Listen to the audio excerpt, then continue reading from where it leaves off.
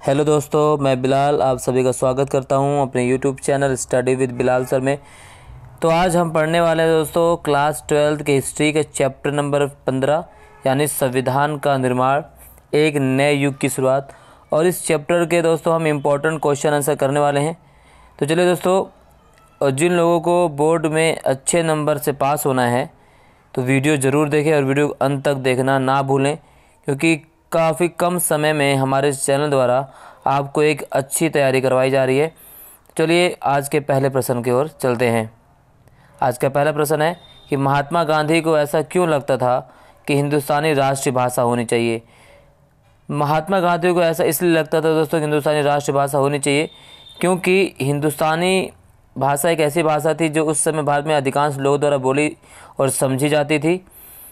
क्योंकि हिंदुस्तानी राष्ट्रीय भाषा के लिए महात्मा गांधी के प्रयास का एक फल था।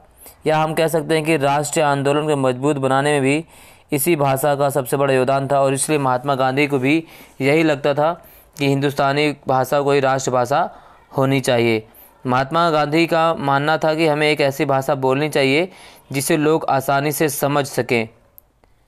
हिंदुस्तानी हिंदी और उर्दू के मेल से बनी भारतीय जनता के बहुत बड़े भाग की भाषा थी और अधिकांश लोग इसी भाषा का प्रयोग करते थे। समय के साथ साथ बहुत तरह के स्रोतों से नए नए शब्द भी और अर्थ भी इसमें समाते गए और विभिन्न क्षेत्रों में बड़ी संख्या में लोग इसे समझने लगे। महात्मा गांधी को लगता था कि यह कि यह बहुत सांस्कृतिक भाषा, विविध समुदायों के बीच संचार की आदर्श भाषा बन सकती है। तो ये वो कुछ कारण है जिसकी वजह से महात्मा गांधी ने हिंदुस्तानी को राष्ट्रभाषा के रूप में ज़ोर दिया और इसे राष्ट्रभाषा के रूप में घोषित करने के लिए अपना सर्वोच्च योगदान दिया। तो चलिए दोस्तों, नेक्स्ट प्रश्न पे चलते हैं। प्रश्न नंबर दो, संविधान सभा ने भाषा के विवाद को हल करने के लिए क्या रास्ता निकाला? इसे पहले वाले प्रश्न में हमने देखा कि कैसे महात्मा गांधी द्वारा हिंदुस्तानी भाषा को राष्ट्रभाषा बनाने पर ज़ोर दिया गया और इसकी वजह भी हमने देखी। तो दोस्तों चूँकि हमें पता है कि भारतीय संविधान सभा संविधान सभा का जो निर्माण किया गया था, उसमें सर्वसम्मति से इसको बनाया गया था और इसमें सभी लोगों की भागीदारी थी। और इस संविधान सभा में हर एक पक्ष के लिए उतनी ही ज़्यादा चर्चा हुई, जितनी इस भाषा को लेकर हुई थी। और इस डिबेट में यह तय किया गया कि क्या हिंदी राष्ट्रभाषा होनी चाहिए या हिंदी की जगह कोई और राष्ट्रभाषा होनी चाहिए। तो इसी विवाद को हल करने के लिए संविधान सभा में बहुत चर्चा की गई। तो चलिए देखते हैं कि क्या से रास्ता निकलते हैं। संविधान सभा में भाषा के मुद्दे पर कई महीनों तक वाद विवाद हुआ और कई बार काफ़ी तना तना भी, यानी तनातनी भी पैदा हुई। आरंभ में कांग्रेस तथा महात्मा गांधी हिंदुस्तानी भाषा को राष्ट्रभाषा बनाने के पक्ष में थे और ये हिंदी तथा उर्दू के मेल से बनी एक समृद्ध भाषा थी, जिसे भारत की जनसंख्या का एक बहुत बड़ा भाग बोलता और समझता था। इसी बीच संयुक्त प्रांत के कांग्रेसी सदस्य आर बी धोलकर, जी हाँ दोस्तों, आर बी धोलेकर ने इस बात के लिए जोरदार आवाज़ उठाई थी कि हिंदी को संविधान निर्माण की भाषा के रूप में प्रयोग किया जाए। जब किसी ने यह कहा कि सभा के सभी सदस्य हिंदी नहीं समझते तो धुलेकर ने पलट कर कहा, इस सदन में जो लोग भारत का संविधान रचने बैठे हैं और जिन्हें हिंदुस्तानी नहीं आती या हिंदुस्तानी नहीं जानते वह इस सभा की सदस्यता के पात्र नहीं है, उन्हें सभा से चले जाना चाहिए। 12 सितंबर उन्नीस सौ सैंतालीस को राष्ट्रभाषा के प्रश्न पर दुलेकर ने, भाषण ने एक बार फिर तूफ़ान खड़ा कर दिया। जब तक संविधान सभा की भाषा समिति अपनी रिपोर्ट पेश कर चुकी थी और समिति ने सुझाव दिया कि देवनागरी लिपि में लिखी हिंदी भारत की राजकीय भाषा होगी, ना कि राष्ट्रीय भाषा। क्योंकि दोस्तों, राष्ट्रीय भाषा को लेकर दक्षिण में तमिल राज्यों में काफ़ी विवाद हुआ और वहाँ बहुत बड़ा आंदोलन भी उठा। ऐसा लग रहा था कि मानो भारत फिर में कई भागों में बढ़ जाएगा। तो इसी कसोपस में होते हुए राष्ट्रीय भाषा की जगह हमने हिंदी को राज्य भाषा के रूप में स्वीकार किया और समिति ने यह भी फैसला लिया कि 15 साल तक सरकारी कामों में अंग्रेज़ी का प्रयोग जारी रहेगा। दोस्तों, ये काफ़ी इम्पोर्टेंट क्वेश्चन है। ध्यान रखना, इसे हम मोस्ट इम्पोर्टेंट क्वेश्चन की श्रेणी में रखते हैं। ये प्रश्न बार बार पूछा गया एग्ज़ाम के बोर्ड एग्ज़ाम में, यानी क्लास ट्वेल्थ के बोर्ड एग्ज़ाम में। तो चलिए नेक्स्ट प्रश्न देखते हैं, भारत का संविधान कब लागू हुआ? तो भारत का संविधान दोस्तों लागू हुआ था ए 26 जनवरी 1946 बी 15 अगस्त उन्नीस सौ सैंतालीस, सी 26 जनवरी 1950 या डी 15 अगस्त 1950 तो भारतीय संविधान हमारा जो लागू हुआ था वो हुआ था 26 जनवरी 1950 को भारतीय संविधान लागू किया गया था। 26 जनवरी 1950 को। नेक्स्ट भारत का संविधान कब सूत्रबद्ध हुआ? जी हाँ यानी भारत का संविधान कब बनकर तैयार हुआ? तो भारत का संविधान दोस्तों, बनकर तैयार हुआ था दिसंबर। जी हाँ दिसंबर से लेकर हम देखें तो 9 दिसंबर 1946 इसकी प्रथम बैठक हुई थी 1946 को, और 26 नवंबर उन्नीस सौ उनचास को हमारा संविधान बनकर तैयार हुआ। ठीक है, इसी तरह हम कहते हैं कि भारतीय संविधान को बनने में दो साल, ग्यारह महीने और अट्ठारह दिन का समय लगा। भारत का संविधान किसके द्वारा बनाया गया? तो भारत का संविधान बनाया गया दोस्तों, संविधान सभा द्वारा। संविधान निर्माण के दौरान संविधान सभा में कुल कितने सत्र हुए? तो संविधान निर्माण के दौरान संविधान सभा में कुल ग्यारह सत्र होते हैं। संविधान निर्माण के दौरान विधानसभा की कुल कितने बैठकें हुई? तो संविधान निर्माण के दौरान विधानसभा की कुल एक सौ पैंसठ बैठकें होती। कितनी? 165 अगला प्रश्न दोस्तों क्या है? कि संविधान सभा के बयासी प्रतिशत सदस्य किसके थे? तो संविधान सभा में बयासी प्रतिशत सदस्य थे वो थे कांग्रेस के। जी हाँ इसलिए संविधान सभा को ये ये भी आरोप लगाया जाता है कि संविधान सभा कांग्रेस की सभा थी, क्योंकि इसमें कांग्रेस का प्रतिनिधित्व बहुत ही ज़्यादा था। चलें, प्रश्न नंबर नौ। संविधान सभा की कुल सदस्य संख्या कितनी थी? तो संविधान सभा की कुल सदस्य संख्या 389 थी। प्रश्न नंबर दस। भारत में 1946 की अंतरिम सरकार के अध्यक्ष कौन थे? तो भारत में 1946 के अंतरिम सरकार के अध्यक्ष थे पंडित जवाहरलाल नेहरू। प्रश्न नंबर ग्यारह, जवाहरलाल नेहरू के उद्देश्य प्रस्ताव को महत्वपूर्ण प्रस्ताव क्यों कहा जाता है? तो पंडित जवाहरलाल नेहरू द्वारा प्रस्तुत के उद्देश्य प्रस्ताव को महत्वपूर्ण प्रस्ताव इसलिए कहा जाता है दोस्तों, क्योंकि भारतीय संविधान के लिए इसने आदर्श जुटाए। आदर्श यानी संप्रभुता, स्वतंत्रता और अखंडता की बात कहें तो इन्हें आदर्श माना जाता है।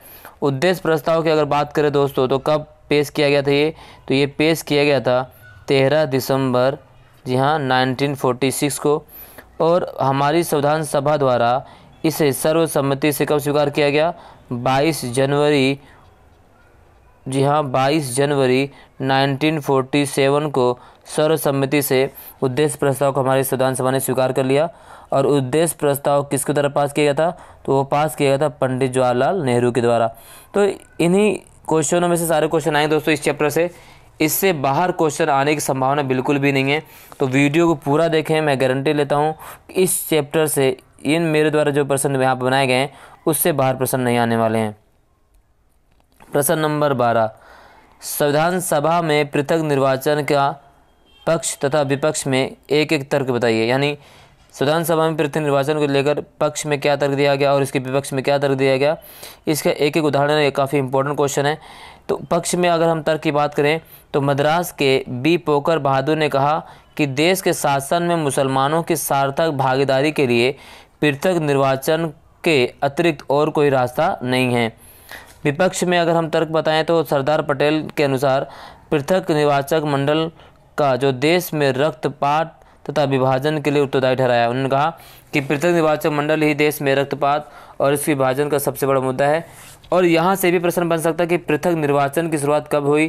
तो दोस्तों पृथक निर्वाचन की शुरुआत जो हुई थी, वो भारत में कब हुई? वो हुई थी 1909 के अधिनियम में अलग निर्वाचन क्षेत्र की मांग की गई और ब्रिटिश सरकार ने फ़ूड डाल शासन को नीति के तहत मुसलमानों के लिए अलग निर्वाचन क्षेत्र का इस्तेमाल किया। जिसमें सिर्फ़ मुसलमान मुसलमान वोट दे सकते थे और 1909 के बाद 1919 के अधिनियम में इस पृथक निर्वाचन की संख्या को बढ़ाकर मुसलमानों के साथ ईसाई, सिख, बौद्ध, जैन आदि सभी के लिए लागू कर दिया गया। बाद में बाद में इसी के लिए 1932 में महात्मा गांधी ने यरवदा जेल में आमरण अनशन किया, क्योंकि जो भीमराव अंबेडकर थे, उन्होंने हिंदुओं में दलितों के लिए भी पृथक निर्वाचन की मांग की थी और इसी के विरोध में महात्मा गांधी द्वारा 1932 में यरवदा जेल में पुणे के आमरण अनशन किया गया। बाद में समझाने बुझाने के बाद जब भीमराव अंबेडकर इस बिल को वापस लेने के लिए तैयार हुए तो महात्मा गांधी ने अपना अनशन को तोड़ा। चलिए, प्रश्न नंबर तेरह। स्वतंत्रता के समय भारत के सामने कई समस्याएँ थी। इनमें किन्हीं दो समस्याओं का संक्षिप्त वर्णन कीजिए। अगर हम स्वतंत्रता की बात करें और उसके समय भारत की समस्याओं की बात करें तो दोस्तों, हमारे सामने बहुत महत्वपूर्ण कई समस्याएँ थी लेकिन इन समस्याओं में से दो सबसे महत्वपूर्ण समस्या थी। पहली थी वो शरणार्थियों की समस्या और दूसरी थी देसी रियासतों की समस्या। अगर हम शरणार्थियों की समस्या की बात करें, दोस्तों तो 15 अगस्त 1947 को, जी हाँ पंद्रह अगस्त उन्नीस सौ सैंतालीस को स्वतंत्रता दिवस पर आनंद और एक उम्मीद का वातावरण था। परंतु भारत के बहुत सारे मुसलमानों और पाकिस्तान में रहने वाले हिंदुओं तथा सिखों के लिए एक निर्मम क्षण था, क्योंकि करोड़ों शरणार्थियों को यहाँ से पाकिस्तान और पाकिस्तान से हिंदुस्तान को आना था। जो लोग पहले एक ही देश में रहा करते थे और रातों रात वो अजनबी हो गए। तो ये हमारे सामने सबसे बड़ी समस्या थी कि कैसे इतने संख्या में शरणार्थियों को एक स्थान से दूसरे स्थान तक लाया, ले जाया जाए। क्योंकि जो विभाजन रेखा खींची गई थी, वो विभाजन रेखा बहुत ही ज़्यादा गलत थी, क्योंकि एक एक पश्चिम में तो दूसरा पूरब में था। दूसरा था दोस्तों, देसी रियासतों की समस्या। हमारे सामने सबसे बड़ी समस्या ये भी थी कि देसी रियासतों, क्योंकि हमारे सामने ब्रिटिश सरकार ने ये देसी रियासतों के सामने ये प्रश्न रखा कि या तो आप भारत में शामिल हो जाइए, या तो पाकिस्तान में शामिल हो जाइए, या स्वतंत्र रह सकती हैं।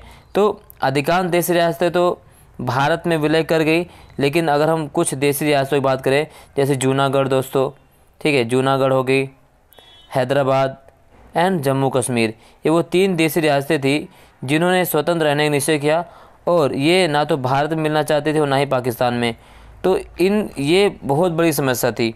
अगर ये समस्या को सरदार वल्लभ भाई पटेल सही से नहीं निपटाते तो भारत कई भागों में दोबारा से बढ़ जाता और एम हम जो एक अखंड और एक स्वतंत्र भारत की कल्पना देख रहे थे, वो कभी पूरा नहीं हो पाता। इसी देसी रियासतों के एकीकरण के बाद सरदार वल्लभ भाई पटेल को भारत का बिस्मार्क यानी the iron man of India के नाम से जाना जाता है, जिसे हम लोह पुरुष के नाम से जानते हैं।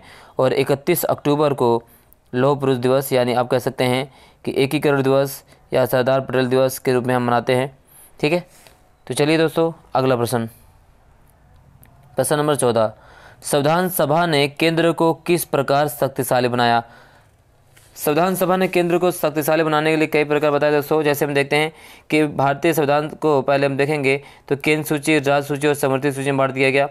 यानी जो केंद्र सूची में जो अधिकांश विषय है, वो कानून कौन बनाए केंद्र सरकार, राज्य सूची में राज्य सरकार और समर्थित सूची में केंद्र और राज्य दोनों जो सरकारें हैं, वो कानून, अधिकार बना, कानून बना सकती हैं। परंतु राज्य और केंद्र में मतभेद होने पर केंद्र का कानून ज़्यादा महत्वपूर्ण माना जाएगा। तो इस वजह से केंद्र को ज़्यादा शक्तिशाली बनाया गया है। दूसरा देखिए दोस्तों तो खनिज पदार्थों तथा प्रमुख उद्योगों पर केंद्र सरकार को ही नियंत्रण दिया गया यानी चाहे वो राज्य में ही खनिज पदार्थ, चाहे खनिज उद्योग हो, उस पर किसका अधिकार होता है? केंद्र सरकार का। भले ही वो खनन और खनिज उद्योग जो है, वो राज्य में हैं। अनुच्छेद तीन के अंतर्गत गवर्नर की सिफारिश पर यानी राज्यपाल की सिफारिश पर केंद्र सरकार, राज्य सरकार के सभी अधिकार अपने हाथ में ले सकती है। ये ये भी एक बड़ा रीजन है केंद्र को शक्तिशाली अधिकार प्रदान करने में। दूसरा, संविधान में राजकोषीय संघवाद की भी एक जटिल व्यवस्था बनाई गई। सीमा शुल्क और कंपनी कर आदि से होने वाली सारी आय केंद्र सरकार के पास रखी गई। अगर प्रश्न ये भी बन जाए दोस्तों कि केंद्र सरकार को अधिक शक्तिशाली क्यों बनाया गया है? तो केंद्र सरकार को अधिक शक्तिशाली इसलिए बनाया गया है दोस्तों, क्योंकि देश की एकता और अखंडता को बनाने रखने के लिए केंद्र का शक्तिशाली ज़्यादा होना ज़रूरी है, क्योंकि राज्य में तरह तरह के अलगाववाद या हम कह सकते हैं कि विभिन्न प्रकार के मतभेद उत्पन्न होते रहते हैं, जिसकी वजह से केंद्र को शक्तिशाली बनाया गया ताकि देश की एकता और अखंडता हमेशा बरकरार रहे और विघटित ना हो सके हम। अगला प्रश्न प्रश्न नंबर पंद्रह। भारतीय संविधान किस प्रकार केंद्र और राज्य सरकारों के अधिकारों को सुरक्षित करता है स्पष्ट कीजिए। अगर हम बात करें दोस्तों, भारतीय संविधान के किस प्रकार ये राज्य और सरकारों के अधिकारों को सुरक्षित करता है तो इसमें देखेंगे तो तीन सूचियाँ जो है दोस्तों केंद्र सूची, राज्य सूची और समर्थित सूची, क्योंकि हम हम एक संवाद की स्थापना करते हैं, जिसमें राज्य और केंद्र को बराबर बराबर शक्तियों बंटवारा कर दिया गया है। दोनों एक दूसरे की शक्तियों पर हस्तक्षेप नहीं करते हैं।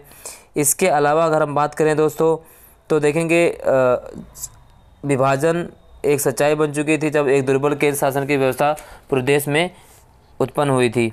तो इस वजह से हम देखेंगे कि सुरक्षित अधिकारों को पूरा करने के लिए, देश की एकता और अखंडता को बनाए रखने के लिए हमने केंद्र को ज़्यादा शक्तिशाली बनाया, परंतु राज्य को भी कहीं ना कहीं हमने अधिकार दिए जिससे वो अपने आवश्यकताओं की पूर्ति कर सके। प्रश्न नंबर सोलह। संविधान निर्माण से पहले के साल काफ़ी उथल पुथल वाले थे। इस कथन के समर्थन में उत्तर दीजिए। ये दोस्तों, इसे हम कह सकते हैं कि ये मोस्ट इंपॉर्टेंट क्वेश्चन है। इस चैप्टर का ऐसा प्रश्न जो इस बार आने की पूरी की पूरी संभावना है। तो संविधान निर्माण से पहले के साल काफ़ी उथल पुथल वाले रहे, इसका कारण क्या है दोस्तों? तो हम देख सकते हैं कि 15 अगस्त उन्नीस सौ सैंतालीस में जब हम आज़ाद होते हैं यहाँ 15 अगस्त 1947 को जब भारत आज़ाद होता है तो उस आज़ादी के साथ हमें भी एक और समस्या का सामना करना, यानी हमें विभाजन का सामना भी करना पड़ा। लोगों की याद में अभी भी 1942 यानी भारत 1942 का भारत छोड़ो आंदोलन अभी भी जीवित था, जो ब्रिटिश राज के विरुद्ध संभवतः सबसे व्यापक जन आंदोलन था। इसके अलावा अगर हम बात करें तो सशस्त्र संघर्ष द्वारा स्वतंत्रता पाने के लिए सुभाष चंद्र बोस द्वारा किए गए प्रयास भी लोगों को भी याद थे। ठीक है 1946 के बसंत में बम्बई तथा अन्य शहरों में रॉयल इंडियन नेवी के सिपाहियों का विद्रोह भी लोगों बराबर बार बार आंदोलन कर रहा था और लोगों की सहानुभूति इन सिपाहियों के साथ थी। चालीस के दशक की अगर बात करें तो अंतिम वर्षों में देश के विभिन्न भागों में मजदूरों और किसानों के आंदोलन भी हो रहे थे। तो ये कुछ चीज़ें थी दोस्तों, हम कह सकते हैं ये इसलिए संविधान निर्माण के साल से पहले काफ़ी उथल पुथल वाले साल थे और अगर इसमें अगर देखें तो हिंदू, मुस्लिम एकता इन जन आंदोलन का सबसे महत्वपूर्ण पहलू था। इसके विपरीत कांग्रेस और मुस्लिम लीग दोनों ही प्रमुख राजनीतिक दल धार्मिक सद्भावना और सामाजिक तालमेल स्थापित करने में सफल नहीं हो पा रहे थे। तो ये कुछ घटनाएँ थी जो हमें एक ऐसे राज्य की ओर ले जा रही थी जो विभाजन को अग्रसर हो रहा था। तो दोस्तों, ये इस चैप्टर के सभी महत्वपूर्ण प्रश्न उत्तर हैं। इस चैप्टर से इस से ज़्यादा प्रसन्न, यानी इससे बाहर प्रसन्न नहीं आने वाले हैं। तो दोस्तों, वीडियो को पूरा देखिए धन्यवाद। और चैनल को सब्सक्राइब कर दें, बेल आइकन को दबाना ना भूलें। हम मिलते हैं आपसे नेक्स्ट वीडियो में, तब तक के लिए जय हिंद।